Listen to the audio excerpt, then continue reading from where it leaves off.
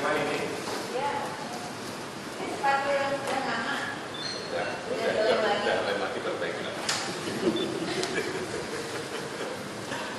Saya bawa lemnya. Iya.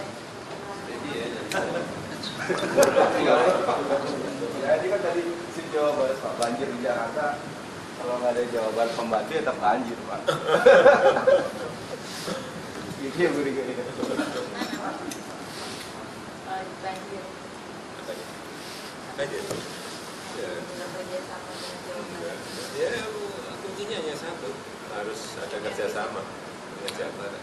Kalau itu enggak, nggak bisa, hilir aja nggak bisa, hulunya harus Hulunya Pak hitam. Citarum, Ciliwung, dulunya ada di Jawa Barat. Kuncinya di sini. Nanti kalau jadi gubernur. Jadi, Amin. Jadi Pak ya. Dari DKI, Mas.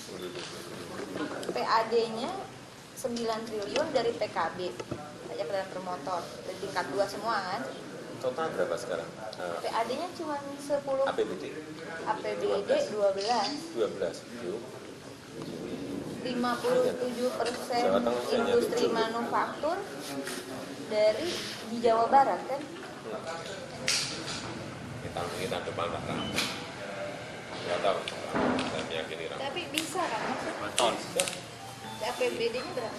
kalau kita APBD 49,9 Ya karena pajak perusahaannya yang ada di Jawa Barat larinya ke sini. Sini termasuk pajak-pajak yang di Bekasi yang ada di sini. Karena perusahaannya ada di Ada sini, di sini. kantornya. Nah mungkin nanti bagi-bagilah.